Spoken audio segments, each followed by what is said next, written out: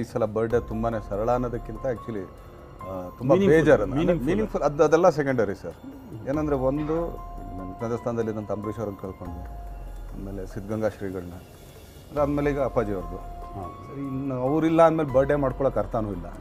ಆಮೇಲೆ ಮಾಡಲ್ಲ ಅಂದ್ಕೊಂಡು ಎಲ್ಲ ಪ್ಲ್ಯಾನ್ ಮಾಡಿದ್ವಿ ಹುಡುಗರೆಲ್ಲ ಸರಿ. ನಾನಂದೆ ಬೇಡ ಪೀಸಲ್ಲಿ ಹಿಂಗಿದೆ. ಅಂತ. ಸೊ ಎಲ್ಲ ಕಡೆಯಿಂದ ಹುಡುಗರು ಯಾವುದೋ ಒಂದು ಕೆಲಸದ ಮೇಲೆ ಇಲ್ಲಿಗೆ ಬಂದಿದ್ರು. ಅವರೆಲ್ಲ ಹೇಳಿದ್ದೇನೆಂದ್ರೆ ಅಣ್ಣ, ಈಗ ನಿಮ್ಮನ್ನು ನೋಡಬೇಕು ಅಂದಾಗ ನಾವೆಲ್ಲ ಅಲ್ಲಿಂದ ಬರ್ತೀವಿ, ಸಿನಿಮಾಗೋ ಯಾರಿಗೋ ಫೋನ್ ಮಾಡ್ತೀವಿ. ನೀವೆಲ್ಲಿ ಸಿಗ್ತೀರಾ ಬಂದು ಮಾತಾಡ್ಕೊಂಡು ಹೋಗ್ಬಿಡ್ತೀವಿ. ಬಟ್ ನಮ್ಮೂರಲ್ಲಿ ಕೆಲವು ಹುಡುಗರು ನಿಮ್ಮನ್ನು ನೋಡೋಕೆ ಅಂತ ಕಾಯ್ತಾ ಇರ್ತಾರೆ. ಅವತ್ತು ಒಂದು ದಿನ ಅವ್ರಿಗೊಂದು ಚಾನ್ಸ್ ಇರುತ್ತೆ. ಅದನ್ನು ಮಿಸ್ ಮಾಡಬೇಡ್ರಿ ನೀವು. ನೀವು ಹೇಳ್ತೀರಾ ಕೇಕ್ ಗೀಕ್ ಏನ್ಬೇಡ ಸರಿ ಆಯಿತು ಸಿಂಪಲಾಗಿ ಆಮೇಲೆ ಅವ್ರುಗಳೇ ಪ್ಲ್ಯಾನ್ ಮಾಡಿದ್ರು. ಸರಿ, ಈ ಸಲ ಕೇಕ್ ಏನೂ ತರೋದು ಬೇಡ.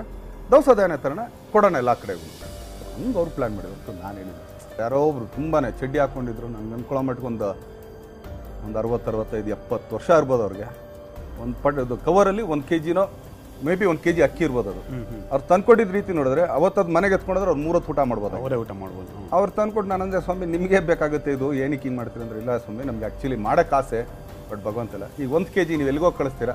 ನನಗೊಂದು ಸತಿ ಸಾಯಕ್ಕೆ ಮುಂಚೆನೇ ಹೋಗಿ ಎಲ್ಲೋ ಒಂದು ಕಡೆ ಕಳಿಸಿದ್ದೀನಪ್ಪ ನಾನು ನಾಲ್ಕು ಜನಕ್ಕೆ ಅನ್ನ ಹಾಕಿದ್ದೀನಿ ಅಂತಂದಿರೋದು ಕೊಡ್ರಿ ಅಂದ್ಬಿಟ್ಟು ಫಸ್ಟ್ ಟೆಸ್ಕೊಂಡು ಅದು ಹಾಕೋಣ. ಸೊ ಆ ಥರದೊಂದು ಅಷ್ಟು ಜೋಡಿಸಿ